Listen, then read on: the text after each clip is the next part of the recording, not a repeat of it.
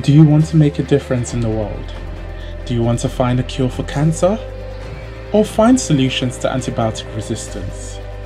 Do you want to end social injustice? Or find ways of protecting our environment? Do you want to address the unethical ways of the fast fashion industries and its contribution to climate change? Or do you want to stop the deforestation of rainforests for palm oil production to protect wildlife and the indigenous people? Or understand the impact of social media on development and growth? Or do you simply want to maturate sustainable agricultures to help farmers in developing countries? If your answer is yes, then a PhD might be right for you.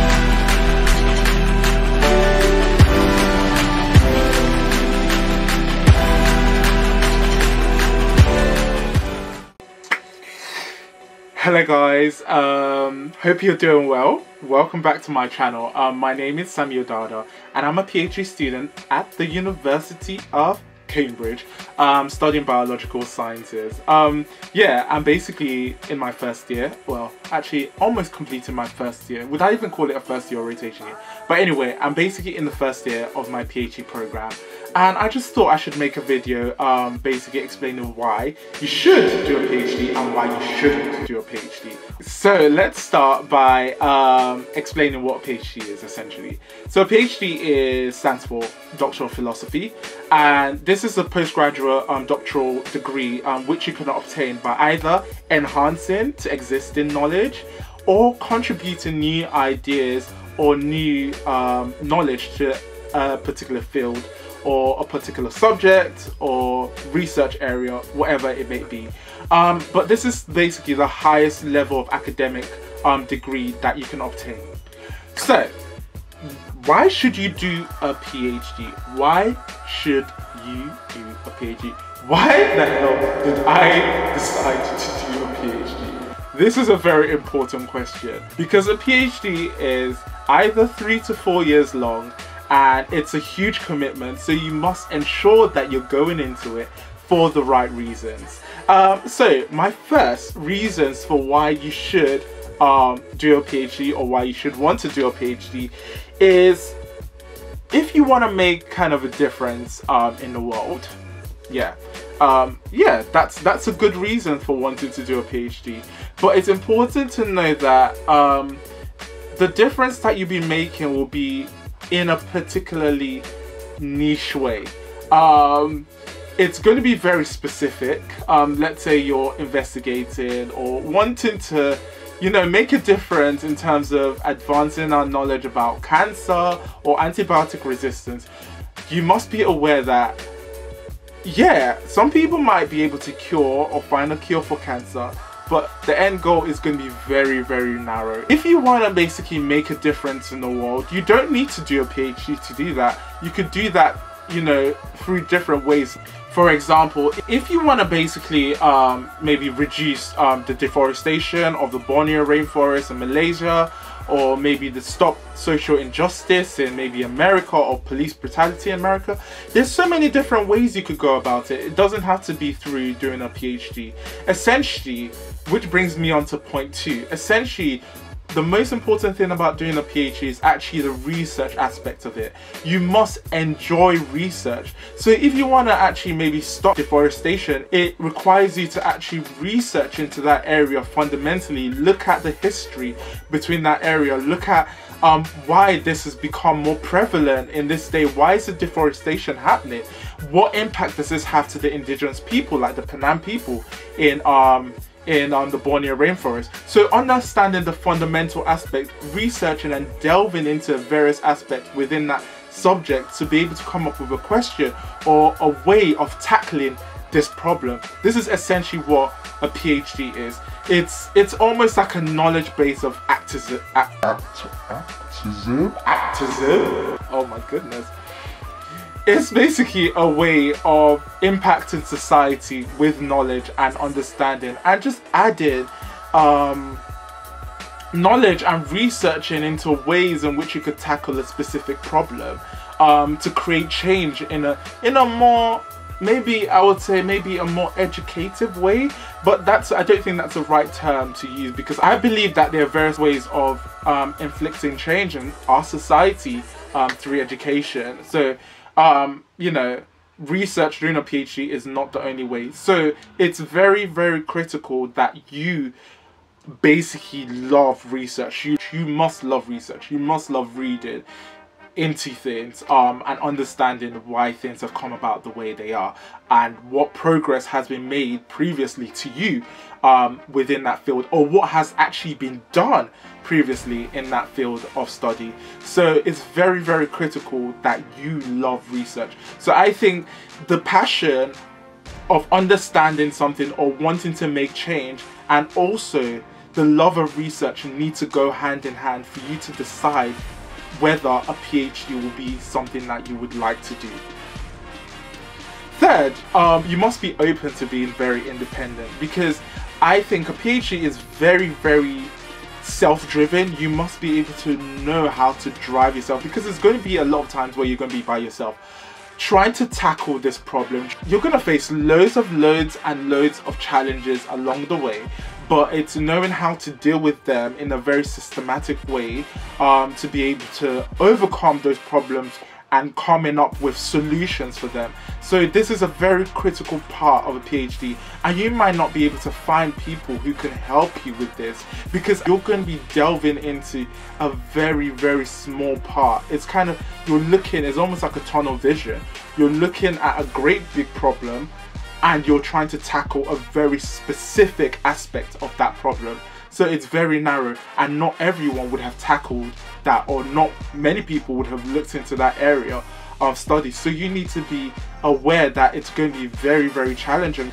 Another aspect is you need to be open to criticism. I feel like I can't speak today. Um, yeah, that happens with me most of the days. But you understand what I mean. Um, yeah, because um, you're gonna face a lot of people kind of doubting your work, doubting your ideas, but it's very important for you to be strong in and committed to the ideas or you know to to your work essentially. You need to be able to defend your work but also be open to other people's ideas of ways that you can improve it.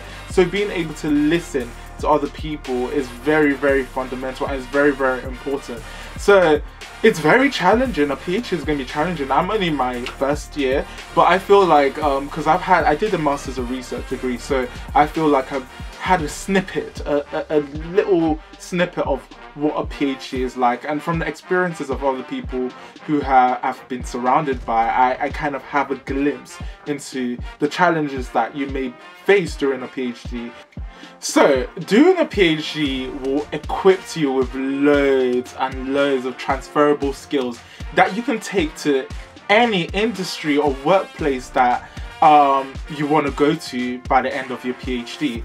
Um, because you're going to be going to loads of conferences where you're going to have to present your work, present your research ideas. Um, you're going to get the chance of interacting with a lot of great you know, minded people within your field of study. You're going to get the chance of actually, you know, writing publications about your research um, and also even engaging with the general public and communicating your research with loads of people. Um, so this gives you the chance of developing a lot of transferable skills, which are very, which is very, very important and fundamental.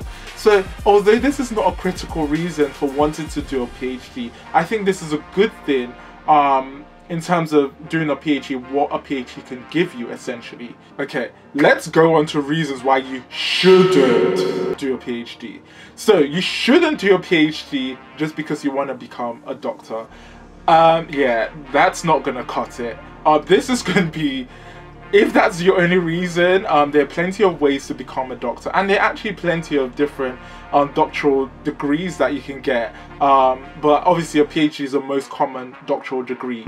Also, um, don't do a PhD because people say you should. I think no, the motivation needs to lie within you. You need to want to do a PhD. You need to love research. You need to love problem solving in order to want to do a PhD. You shouldn't do a PhD because everyone thinks this is the right career path for you or everyone thinks this is what you should do. No, you should want to do your PhD yourself. And you know, if this takes time for you to actually think about whether you want to do a PhD, take that time because a PhD is a huge commitment. Doing it simply because other people say, have said that you should do it is going to harm you in the long run because it's a four or three to four year commitment. It's very challenging, it's very hard, it's very, very, very difficult. I'm sure loads of people cry all the time. I've already started crying. Um, but yeah, it's a huge commitment to just want to do it just because simply because everyone tells you that you should do it. No, I think that's not a reason for you to do a PhD. Also, don't do a PhD simply because you think it's a fast track to advance in you know, in your workplace or in your job or in terms of money. Nope, don't do that. Really, don't do that because it is going to be painful. Imagine spending four years of your life doing something that you know you're not really really enjoying but you're doing it because you think it's the way to go or it's what I should be doing. No don't, don't really really don't do that. I think a key part in which I need to mention is that PhD students do not get paid a lot. We get paid the bare minimum to basically survive. So you're gonna be surviving in life and then you're gonna be surviving in your research as well because it's not easy. So really, really don't just do it because you think it's the way to go to advance, um, you know, in a pay grade in your job or in a job that you're looking for in the future. No, don't don't do it to yourself because it's going to be a struggle and it's going to be painful. Um, yeah. So don't do a PhD simply because you think that it's something that you might want to do in the future. I think you should just live for now um, if that's something that you want to do, you think you might want to do in the future, I think it should be something that you should take your time to think about, do other things, or maybe even take up research positions to explore whether, you know, maybe this might be something that you would enjoy and essentially like doing before fully committing to that three or four years of the degree. Yeah, so guys, that was basically a brief, very quick, quick, snappy video. Um, on reasons why you should and shouldn't do a PhD. Tons and loads of reasons why you should and shouldn't do a PhD. Um, I totally understand that there are various um, different driving um, forces that may propel you to want to undertake a PhD or doctoral training program. Um, but yeah, these are just kind of the key ones that I feel like you should just think about before committing um, to doing this. I had to take some time to actually think about it properly um, before you know taking that huge leap of faith. I did a master's with research um, degree and that gave me kind of a glimpse, a brief glimpse into whether I wanted to do a PhD eventually. And then even after that, I took a few research roles just to get myself up to speed, give me some taste of what the research environment would be like before actually fully committing to wanting and doing a PhD. Of course, um, deciding to do a PhD is just one step.